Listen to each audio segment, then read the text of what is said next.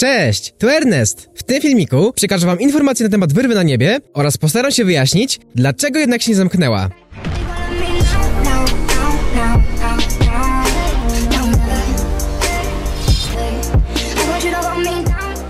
W wiadomościach w grze została zapowiedziana szczelina na wynos, czyli przenośna wyrwa, którą możemy postawić tak jak Portafort, aby dzięki niej odbyć plan ucieczki. Tak jak zapowiedział nam to jeden z pracowników Epic Games na Reddicie. Na pole bitwy ten nowy przedmiot wkroczy już jutro wraz z aktualizacją 5.30. Poza tym, wczoraj, 21 sierpnia o 18, wyrwa na niebie, która jest z nami od 30 czerwca, w końcu miała się skurczyć. Zapowiadały nam to wykopane z plików informacje o nadchodzących wydarzeniach do Fortnite Battle Royale, w których to na tamtą godzinę i dzień wyznaczony został event powodujący skurczenie się wyrwy na niebie. W niemałym gronie na wczorajszym live'ie wyczekiwaliśmy na to wydarzenie i kiedy wybiła 18, wyrwa zamiast się skurczyć, powiększyła się. Wyglądała tak jak na początku sezonu 5.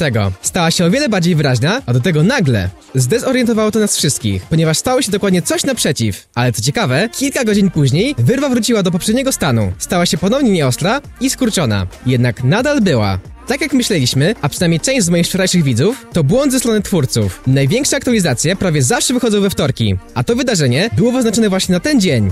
A jak wiecie, aktualizacja ta została przeniesiona na czwartek. Wygląda na to, że gra nie była jeszcze po prostu gotowa na ten event, co spowodowało przywrócenie starego stanu wyrwy. Zdaje się to potwierdzać fakt, że Epic później to naprawiło i wyrwa znowu stała się osłabiona. Wydarzenie, które zapowiedziały na te wycieki się wydarzyło, bo rzeczywiście nastąpiła jakaś zmiana, ale ewidentnie Epic postanowiło przenieść to na inny dzień, co podpowiadają nam nowe wycieki. Slux na swoim Twitterze dał nam znać, że wydarzenie związane ze skurczeniem się wyrwy na niebie jest teraz wyznaczone na piątek, 24 sierpnia na 10 rano. Pierwsza data tak jakby się sprawdziła, więc i ta może być prawdziwa, ale tym razem ta wyrwa rzeczywiście zmaleje. I to tyle. Dziękuję za oglądanie i do zobaczenia w busie bojowym.